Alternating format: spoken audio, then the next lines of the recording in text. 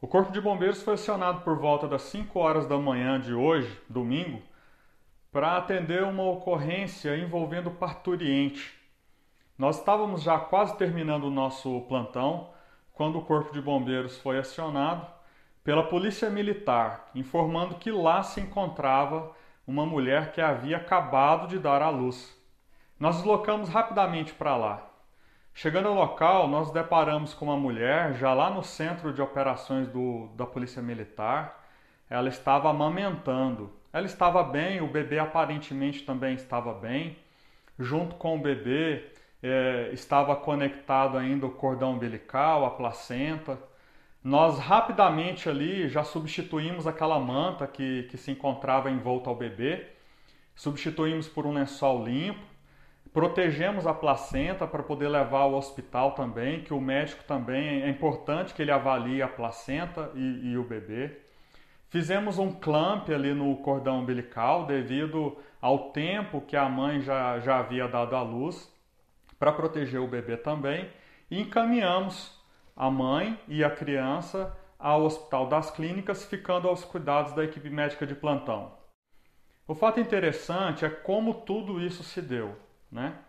Quando nós fomos acionados 5 horas da manhã, eu particularmente achei que havia uma mulher ali na porta do nosso quartel pedindo ajuda. Quando nós chegamos até a viatura, nós ficamos sabendo que a mãe estava no batalhão do, do, da Polícia Militar e que ela havia dado à luz já. Quando nós chegamos lá no local, nós fomos é, falar com o soldado Avner, que foi quem acolheu a mulher ali naquele momento é, e, e, e, nós fomos conversar e, e, descobrimos como tudo se deu. Ela nem sabia que estava grávida, né? É um, um fato interessante. Ela estava na casa dela, ela passou mal, entrou em trabalho de parto e deu à luz na casa dela.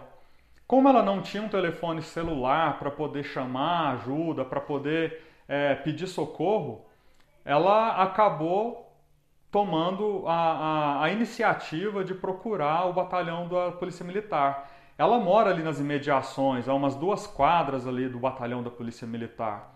Então, rapidamente, ela pegou uma manta, envolveu a filha dela, envolveu ali cordão umbilical, placenta e se dirigiu a pé até a Polícia Militar. E, e, e nesse momento foi abordada pelo soldado Avner, é, que, que se prontificou rapidamente auxiliando ela. Então, um fato realmente interessante. É, cada dia uma história diferente que nós nos deparamos e, graças a Deus, uma situação envolvendo o final feliz.